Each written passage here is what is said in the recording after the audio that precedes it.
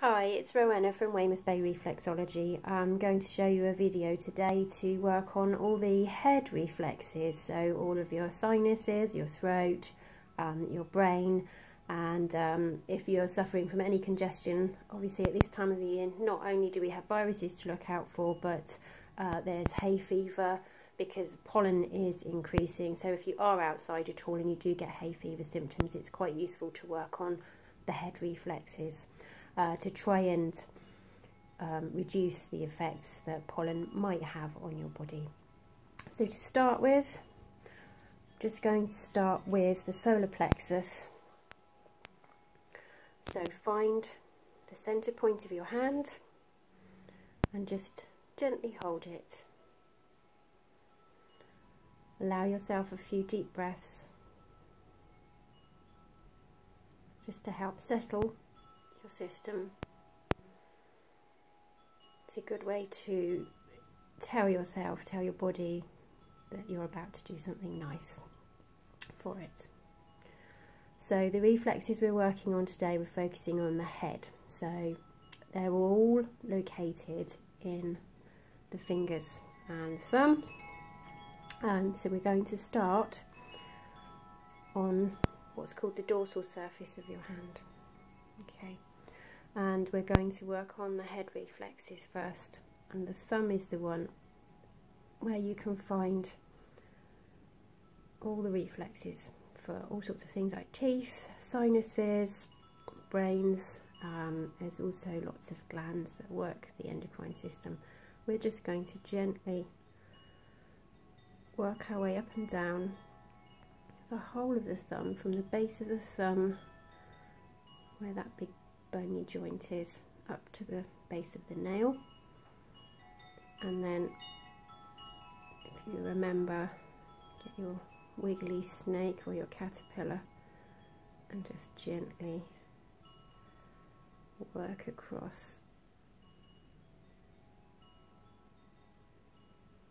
Now this is going to be working across the sinus area on the front of your face so you might feel, actually I am at the moment, um, that if you've got any bunged up mucus or anything that might start to release. So don't be surprised if that happens. That's entirely normal.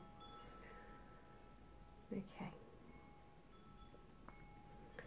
Then we're going to move on to the next finger and just carry on gently working from the base of the finger and I always start just up to the knuckle for sinuses. And you can usually make two or three passes up each finger. Now obviously I'm going a little bit faster than I would usually. If I was giving somebody a treatment I would take this much more slowly. But videos take a lot of phone memory and the shorter they are, the easier they are to load. But you take it slow. If you rush, your body will sense that you're rushing and it will start to um, react to that feeling of being pushed into something.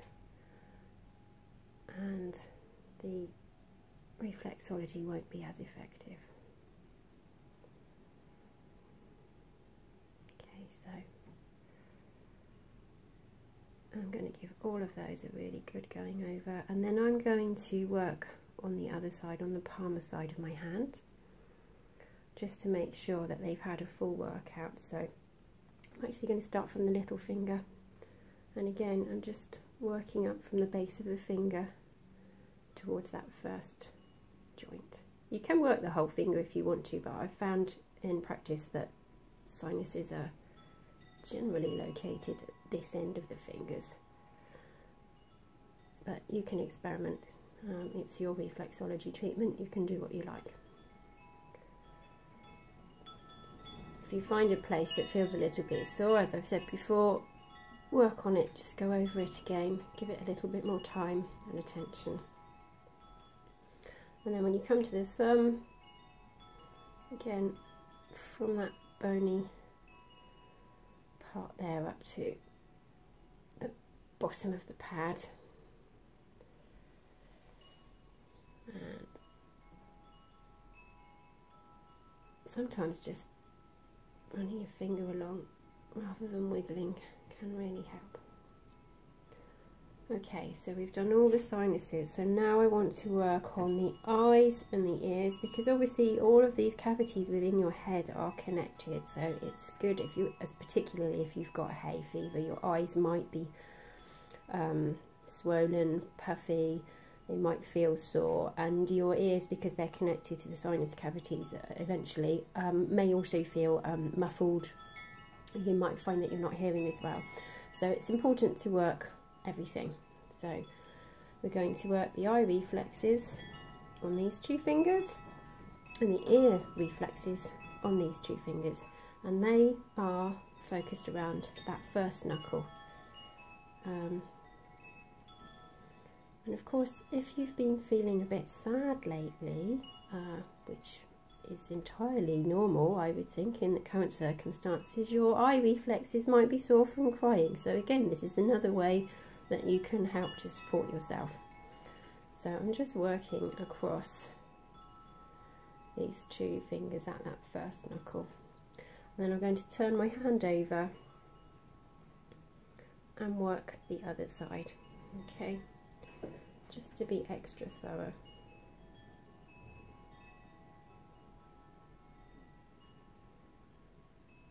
And then I'm going to, because I'm on this side anyway, I'm going to work the ear reflexes, so exactly the same thing. Just go over that knuckle area. Two or three times is often all you need. Three's a good number. And then I'm going to come back to those and work them on the palm side.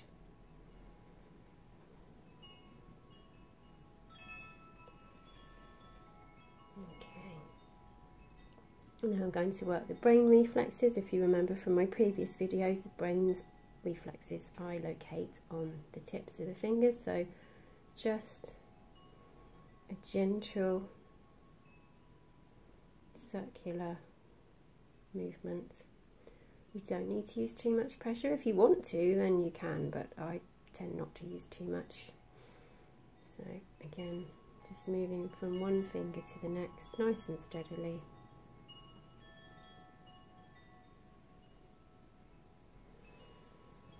This can be very calming sometimes. It's just that contact with your brain that says it's okay, it's fine, you're safe. Everything's going to be fine.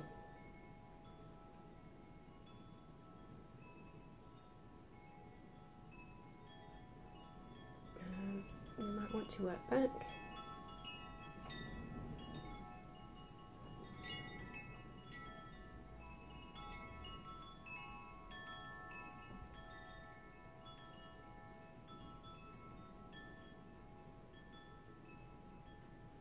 Okay, then I'm going to look at the throat reflex, which we've worked before, which is this area here, around the base of the thumb. You can approach it from any angle you can get to, really. Just gently walk around there. Again, this one may feel a little bit sore. If you've got any hay fever or cold, your throat quite often does get sore. Your tonsils tend to um, swell up because they are actually helping you with your immune response. So work all that area there. And then back to the solar plexus. Some more nice deep breaths.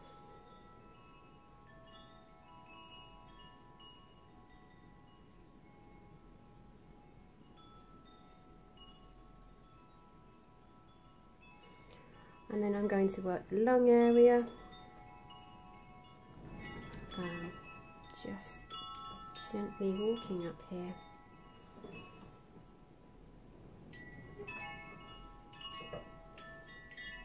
It might feel a little bit crunchy if you've got any kind of um, cold or cough or even uh, asthma going on there then these these reflexes can feel under your thumb either tender or um, crunchy or gritty.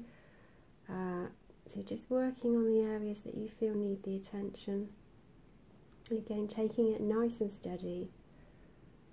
Go a little bit slower than this. Work that whole lung area.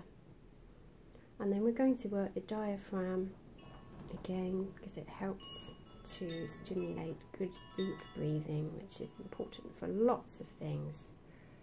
Oxygenating the blood, particularly, helping us to feel calm. And the diaphragm is roughly along this line here. We're just going to walk all the way across. Make sure you go all the way. Do that two or three times. Again, I like three. Three is the magic number. It seems to work really well.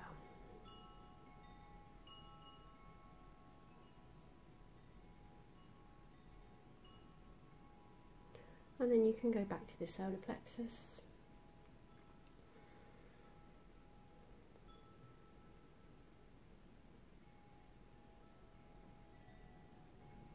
Now just remember to do both hands. Don't leave yourself beautifully reflexologied on one side and not done on the other. It's important to do both. I will be doing a printout, so if you head to my website, weymouthbayreflexology.co.uk and go to my video page. There's a link to freebies there and you can find all of the charts that I've made for the videos that I've done so far. And I hope that you will join me again next time. Bye!